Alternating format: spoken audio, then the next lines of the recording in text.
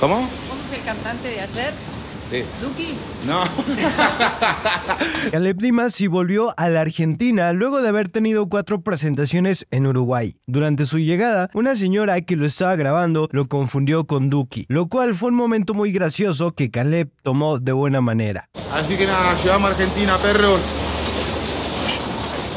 Llevamos a Argentina, me voy para mi casa. Me voy para mi Mira, la señora me está grabando. La, la señora me viene grabando hace dos horas. Saludos, señora. Ahí para acá, mande saludos.